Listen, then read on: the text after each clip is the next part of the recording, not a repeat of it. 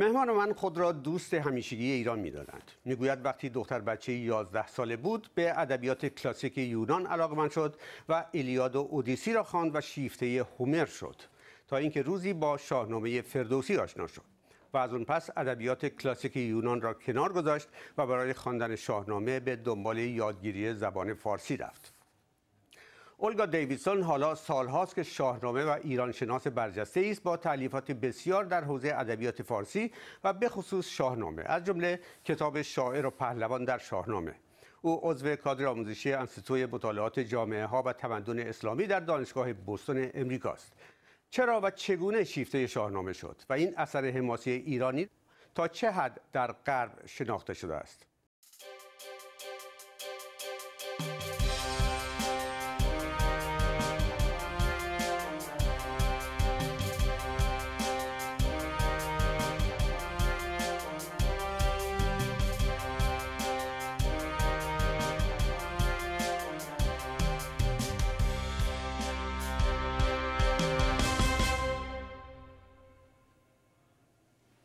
پروفسور آلگا دیویدسون از واشنگتن به برنامه به عبارت دیگر خوش آمدید مرسی شما به من افتخار دادید افتخار از ماست Davidson, uh, how old were you when you first came across Shahnameh? Uh, 19, 20. 19. 19. Yeah, I'm so actually going backwards. 20, actually, 20 years old. I was 20 years old. you old. were 20 years old. How, how was it? I mean, how did you come across Shahnameh? I mean, what, what happened? Okay. Who introduced you to Shahnameh? Um, it was one Thanksgiving, and this is really true, um, that the Tahmasp Shahnameh, the one that used to be called the Houghton Shahnameh, was being exhibited in the Corning Glass Museum, and I was home for Thanksgiving, and I went to the exhibition. And I decided when I saw these, the miniatures from the Tahmasp Shahnameh, which I refused to call the Houghton Shahnameh, um, that they were the most beautiful things I'd ever seen in my life. And I knew it was an epic poem, and I decided right then and there that any poem that would inspire such gorgeous illustrations had to be read in the original. At that time, I was a classics major. In, as an undergraduate, I was a classics major. And uh, Persian and Arabic were just being taught at my university. And so I tried to, first I tried to learn um, Persian there, but it conflicted with my classics course. So I started off in Arabic, and then I started Persian when I went to Harvard. Right, so, so what was... To, only to learn the Shahnameh. All right. Okay, so uh, what um, was the in the Shahnameh that uh, had the first impact on you? That you suddenly become so keen in Shahnameh that you, even for giving up the uh, Greek, Greek classic? I never gave up classics. I married a classicist, so I've yeah. always kept in touch. Yeah. Uh, but uh, you know, it's a multitude of things, and I think that. Um, I read the Shahnameh is the best way to do it through the lens of always seeing other epic materials. I'm one of these people who really likes epic poetry, and obviously the Game of Thrones. But um, one of the things which I like so much about the Shahnameh, once I got good enough to read it, um, was the subtlety of the language and um, let me think the best way to put it. Um, it's different than reading Greek. You know, you always have the, the elaborate Greek metaphor that you have in Homer. And in the Shahnameh, it's different. In the Shahnameh, it's the, I think the subtlety of when Sohrab says to, um, to um, Rostam as he's dying, you know, neither, you know, you can't hide from either fish or, or fowl. And it's a duplication in the sense of what Tahmina said when she said neither fish nor fowl had ever seen her before.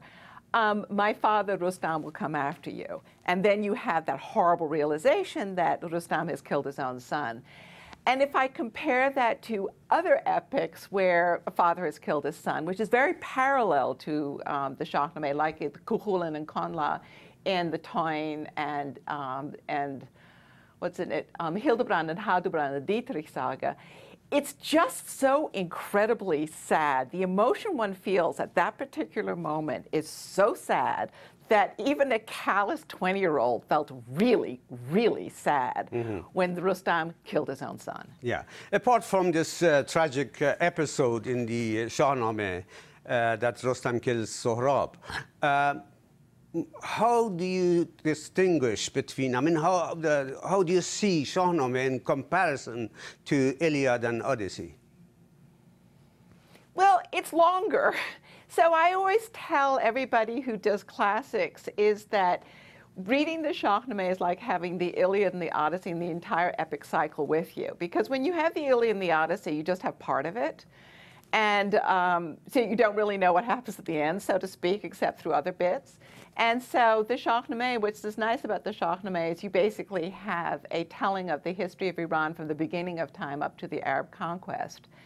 And so it's, um, and so that, you know, that's one of the major differences. And I think that also in the Shahnameh, um, the, uh, I mean, what's the best way? In the Iliad, it's basically about war and negotiations. And as my father said, how not to be a jerk. And the Odyssey I find less interesting than the Iliad, except I like the idea of the return home and what makes Odysseus be considered the, you know, how does Odysseus reconstruct himself in order to become what he ends up becoming? But in the, um, the Shahnameh, it's different because it's about more court life. So I would look at it more in comparison with something like the Nibelungenlied or something like that because it's very courtly literature. Uh, but you have these amazing stories in it that are very parallel to um, to the Iliad and the Odyssey. For example, I really do see as Rustam as a parallel figure to somebody like Achilles. Um, but his whole demeanor even when he gets very angry and um, very angry with Kekaus, is so courtly that you can't sort of, you have to kind of see the, um, the true anger that Rustam would feel for mm-hmm. Afrasiyab through a different kind of lens is the best way of putting it. Right. Okay, so uh, um, how, where do you place Ferdowsi in amongst the uh, epic writers of the world? Well at the top, otherwise I wouldn't have spent all my time on him. Mm-hmm. I mean, you know, but I'm, you know, my thing is I like epic, but of course I like Ferdowsi the best because otherwise why would I be reading it? Mm-hmm. Uh, so among the Persian uh, literary works or classics, uh, so how much Shahnameh is known in the West? I mean, when you compare it to, to, to, to Rumi or Sadi or Hafiz.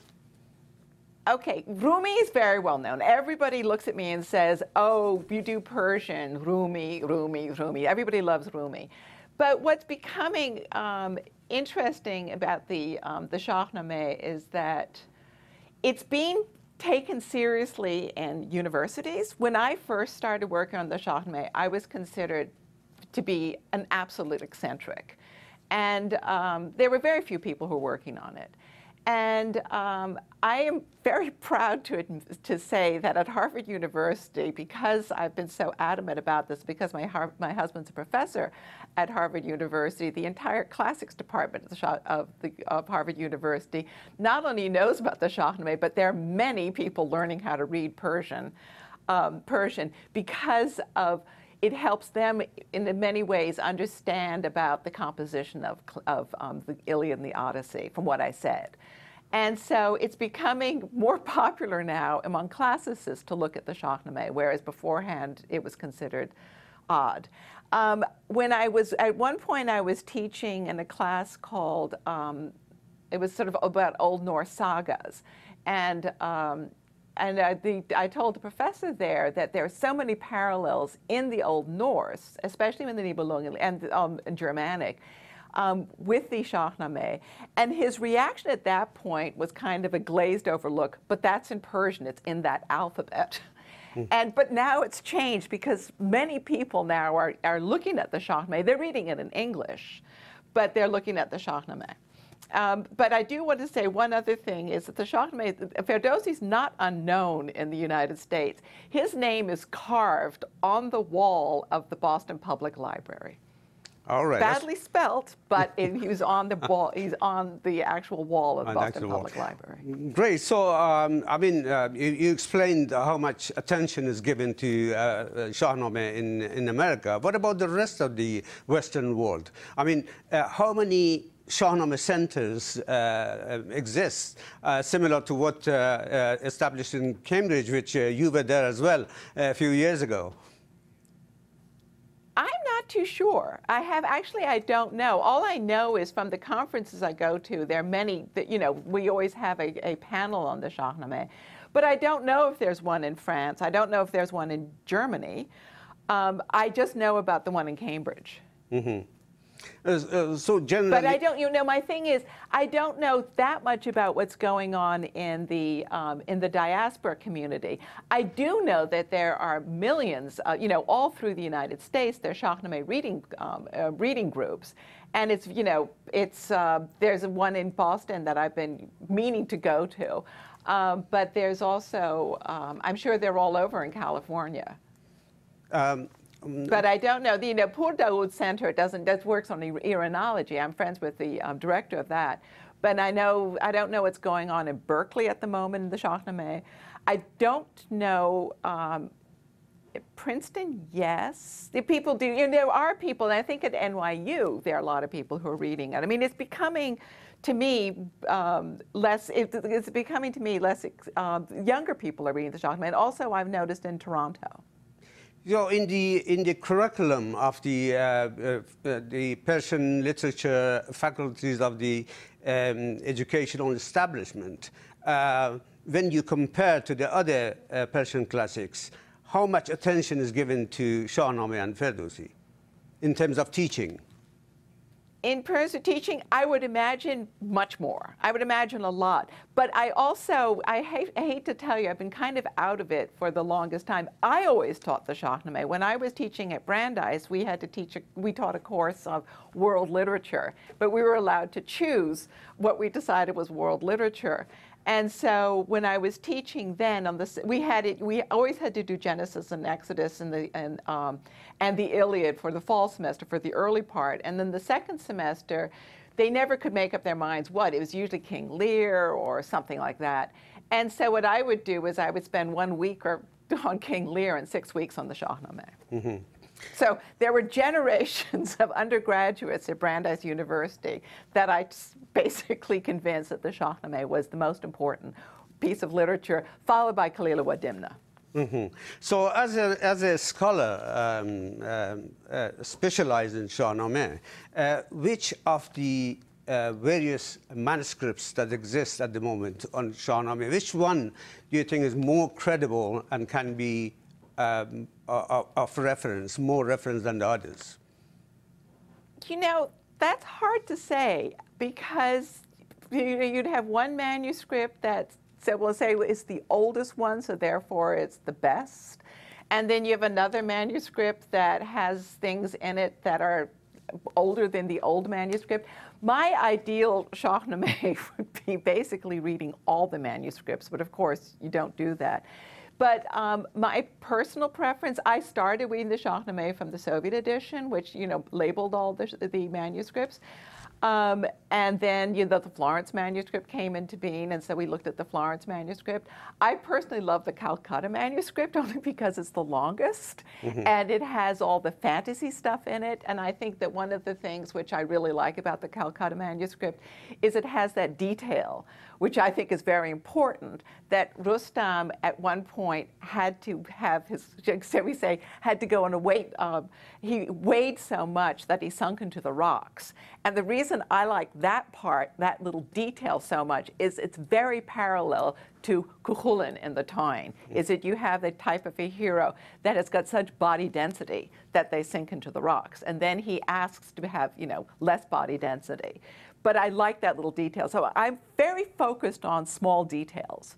And then if I see the small detail in another, in, you know, in a completely different tradition, what I really like doing is looking at a hero, you sort of a prototype of a hero, and seeing the parallels between them and, and another epic tradition, and then really thinking about, um, you know, what epic is and how a society is presenting itself um, through a sort of a um, a Ur-type, I would, which I would always call sort of an Indo-European model, so to speak. And mm-hmm. so you do have, you know, if you look at the Shahnameh and then compare it to the Indic stuff or whatever, there's so many parallels to it, but then it's different. I'll give you one example, which I really like as sort of a way of looking at things. Draupadi um, has five husbands, the Pandavas, and then you have. Um, um, um, what we have with uh, with Feridun when he's being tested. Um, I'm sorry, with, uh, with um, I'm sorry, I've completely pulled. I've lost my track on this uh, one completely. I'm Siavash probably. Mean. Siavash. Scratch this. Mm. No, no, not with Siavash. I'm oh. not looking. I'm looking at the three wives. Um, no, it was with Feridun. When Feridun is asked to be married, when he's asked to marry, he's presented with three women who are identical, who are absolutely identical. And so, um, and so you just sort of have that little thing of the, the and, the and the way I've always looked at this is I'm being confused at this point because mm-hmm. um, I'm jumping ahead of myself and thinking about de So maybe I should stop. Okay, okay, okay. Don't worry about that. Um, the. I, am sure that uh, you're aware that uh, uh, Professor Jalal Khalighi Mutlaq has produced eight yes. volume um, uh, oh, yes. Shahnameh. No, and I use it. Yes. Yes. And uh, uh, I mean, he, he, obviously he used uh, he used uh, tens of uh, manuscripts in his research and all that. And he always thinks that the Florence manuscript was the closest to the uh, Ferdowsi's um, time, and therefore more accurate or more credible. What do you think about the Florence copy? Um, I like the Florence copy, and I like um, Khalighi Mutlaq's copy, and I've used it a lot. I use it a lot, and I think that the one thing is is that um, is with um, with uh, him is this is just my pet peeve, is that I really like Takhmini's lament. And when Takhmini's lament is left out of a Shahnameh, I mean, you can see, I can understand why a manuscript wouldn't have Takhmini's lament because it's very subversive, but it's also very real.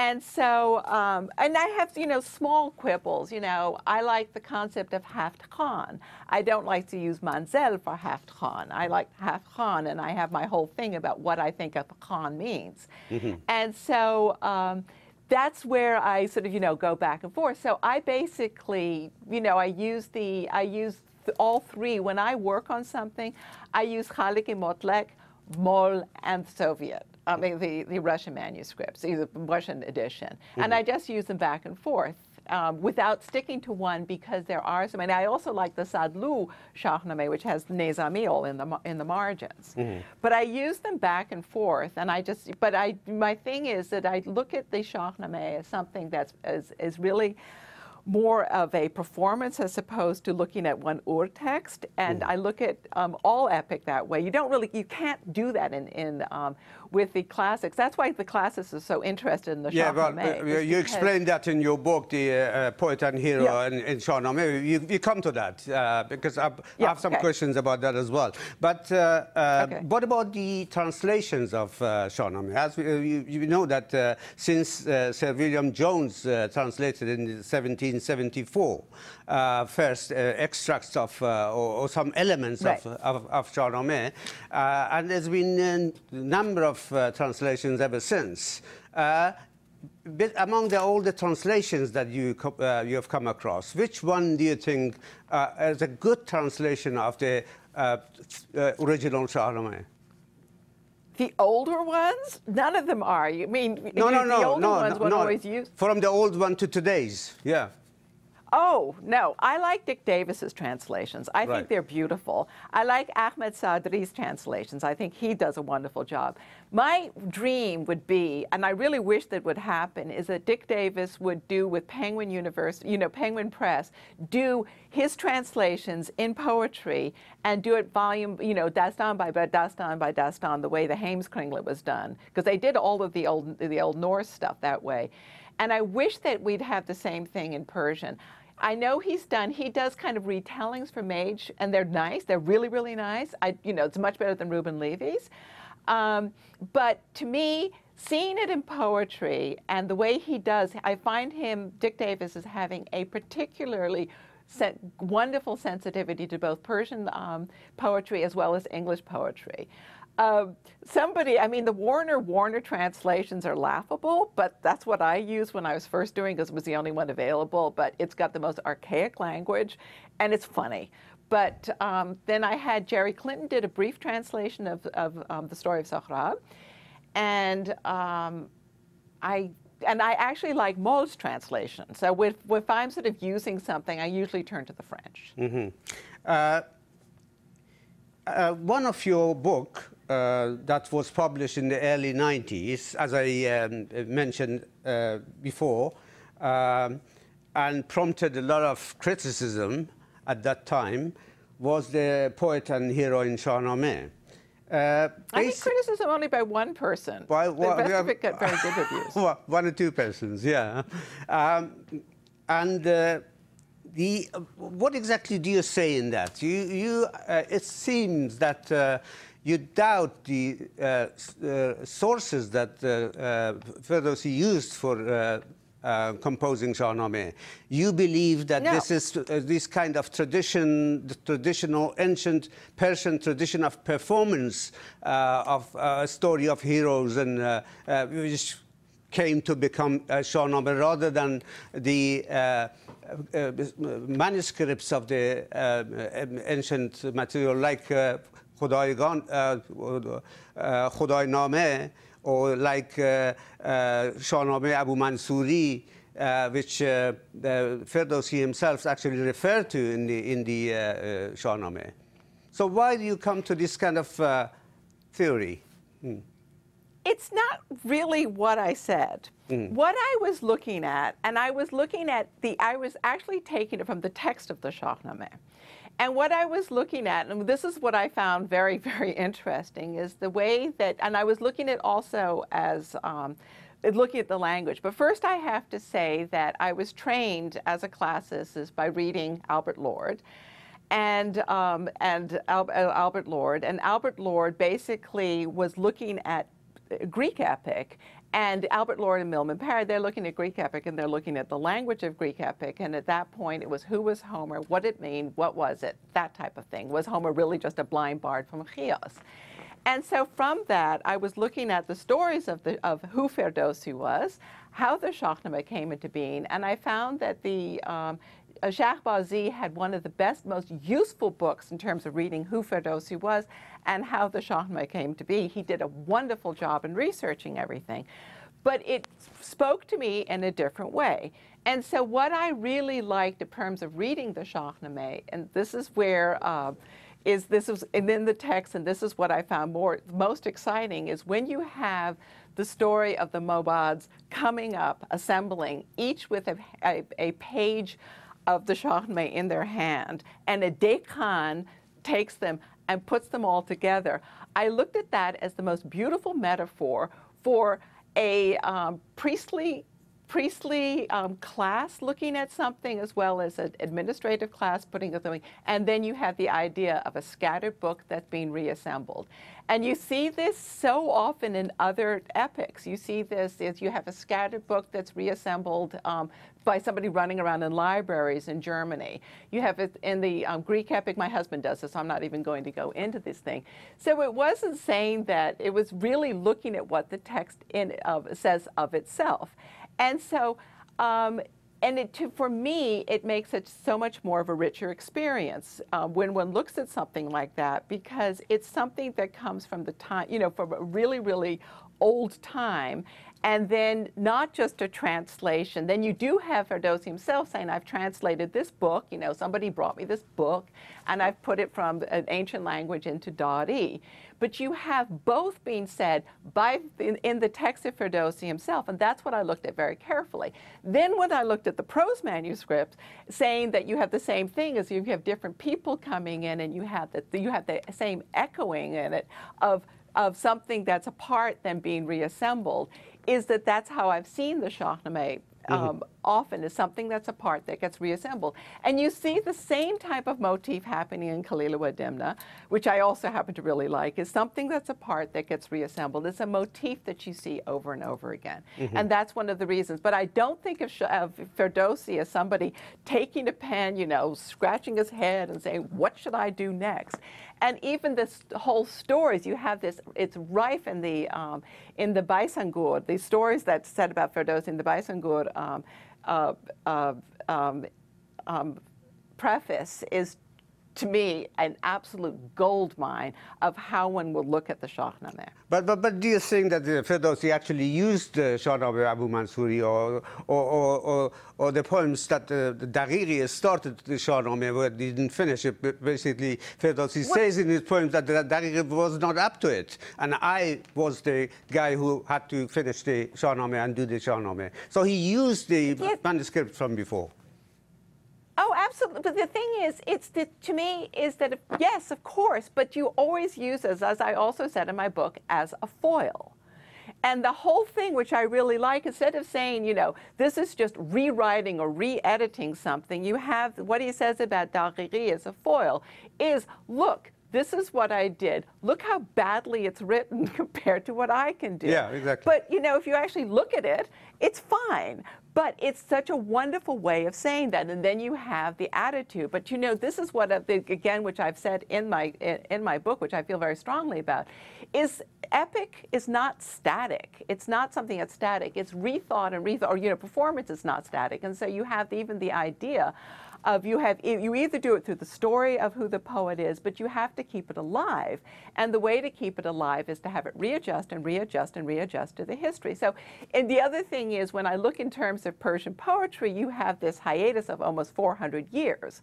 Uh, where you know suddenly Ferdowsi shows up, but you have a hiatus of absolutely nothing in Persian Persian uh, poetry after the um, Arab conquest. It doesn't mean that poetry died; it just was underground. But I think that the one thing, and so it's, you know, even continue, but the one thing is to how to make something go back into the courts, being court poetry, and how to readapt and readapt and readapt it so it's still relevant is something that I think, is something that I find, I, I find passionately interesting. And it's something that, again, it keeps it alive. Um, and the final question, uh, uh, are you still working on any uh, uh, other aspects of uh, Shahnameh or Ferdowsi at the moment? Well, I'm, I've, I'm, I'm, I'm really interested in the Baisangur um, uh, preface. So I always re-look in things. I'm using that. I'm looking at it through that, you know, that particular lens. I find this the stories, uh, the stories that happen in there of incredible interest, and I've published extensively on this in various articles. It's, you know, they're all over the place, but that's what I've been working on now. Um, and um, you know, one can spend one's life working on the Shahnameh, but the way I would do it is, you know, I could look at a story, but I always look at it in terms of comparative. Uh, um, comparisons because I find it so interesting to compare it to other epics. In terms of the details, I'm not comparing to say which is better, which is worse. What I like to do is look at something, how do you understand it? How do you understand something that's coming from another tradition through the Shahnameh? All right. Great. Thank you very much, Olga Davidson. It was a pleasure talking to you. Thank you. Thank you.